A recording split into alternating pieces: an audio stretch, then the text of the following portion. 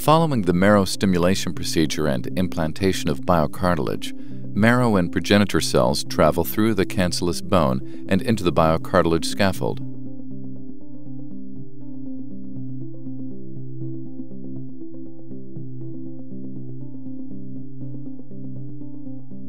Biocartilage contains key components such as type 2 collagen, proteoglycans, and cartilaginous growth factors.